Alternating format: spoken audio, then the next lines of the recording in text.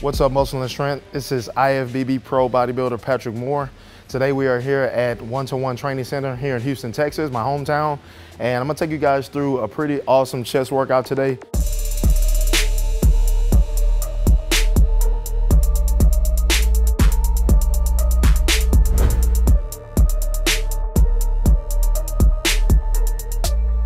The goal is always to beat the package you did before. So once you got feedback from the judges on the Olympia, they told us more size, which was cool. I mean, it's bodybuilding.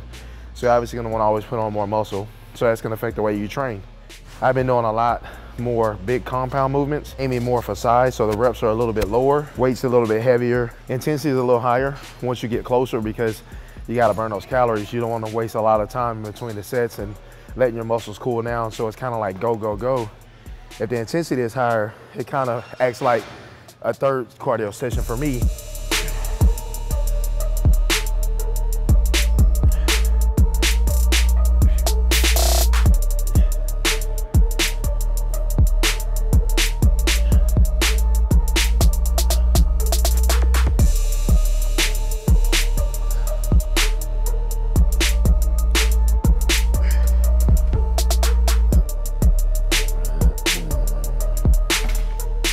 Felt real good, real good. And it's crazy because that's the whole stack.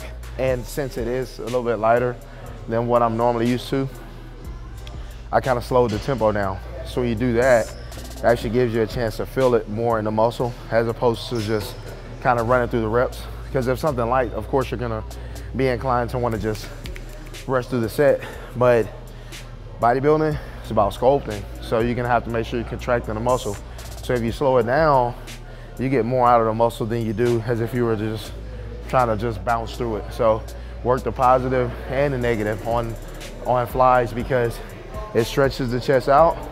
And then once you squeeze, you contract it, and that's what creates like round pecs.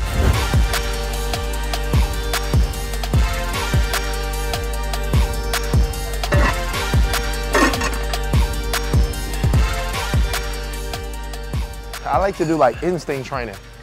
So for me, depending on the muscle group, some stuff you don't need a lot of rest. So if I was in here training arms, you notice the tempo would be very, very quick because smaller muscle groups don't really require a lot of time to recover set to set. Same thing, you know, same concept for legs. You're doing squats, that rest time's gonna be a little bit longer because bigger muscle group, big compound movement. Yeah.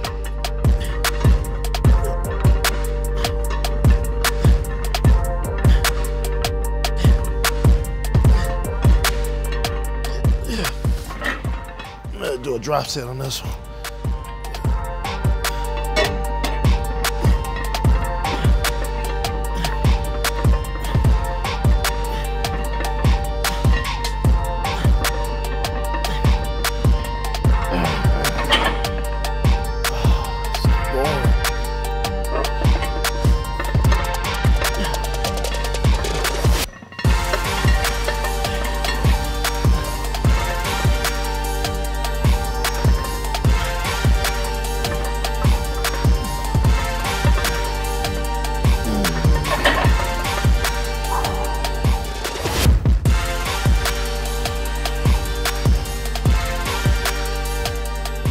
Like that thicker chest up top, it's just better.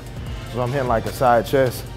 I don't go flat up top like a lot of guys, you know, because they don't really target that. They'll target more flat, flat pressing. So I do more incline because you get like these little tie-ins and stuff. You get those going, it makes it pretty gnarly looking if you're hitting like a most muscular or something because you have all that going on up top and your shoulders don't shrink your chest down makes yeah it makes the shot look more complete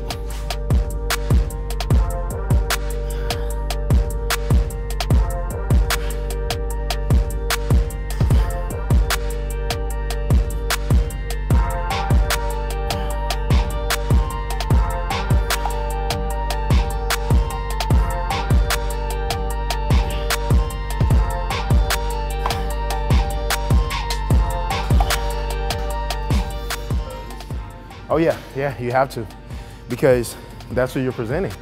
So you're on stage. If, for instance, take you know, you see a lot of guys doing cables, right? Um, I could sit there and just do the cables and just go through the motion and, and act like I feel it.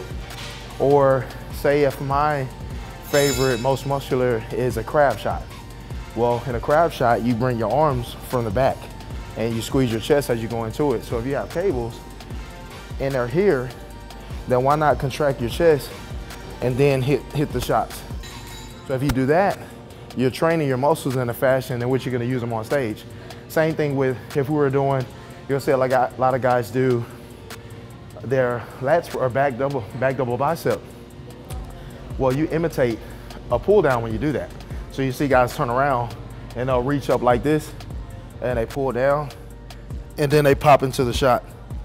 They're mimicking just what they're doing with the exercise. So when you do that, you communicate with your muscle like that, it makes hitting those poses really good because a lot of guys can have a good physique, but if they can't present, present it on stage, just no point. So all that starts in the gym with your training.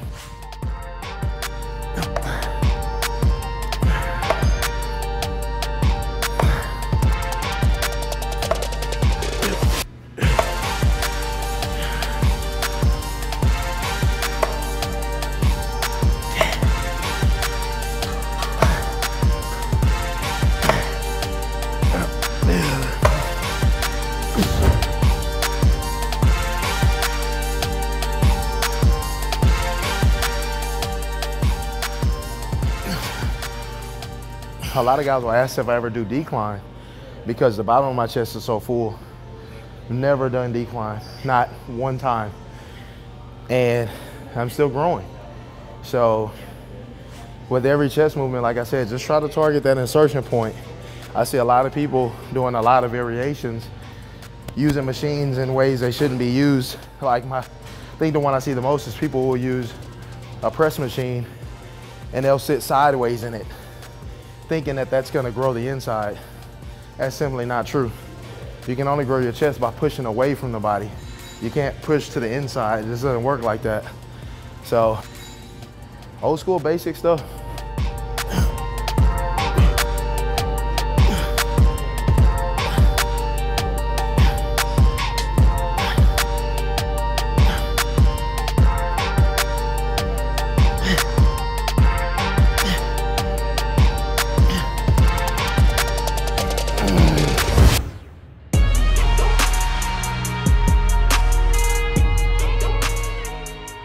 This is kind of targeting overall chest development. Um, if you want to see those crazy lines in your chest, this is going to be the machine to do it.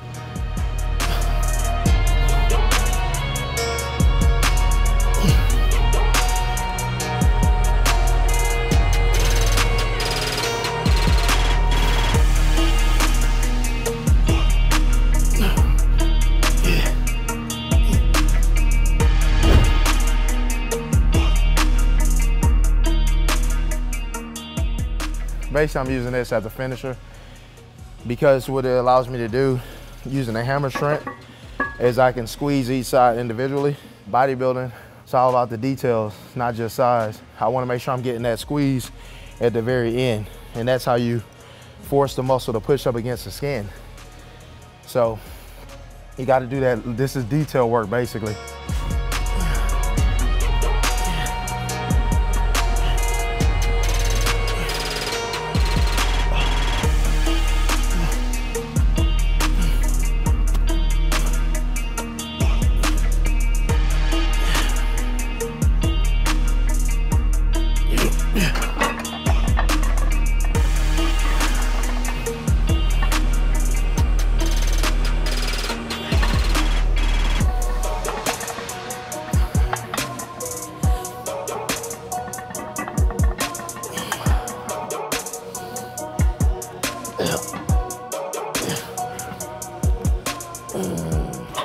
All right, guys, that wraps it up for the chest workout. Hope you guys enjoyed it.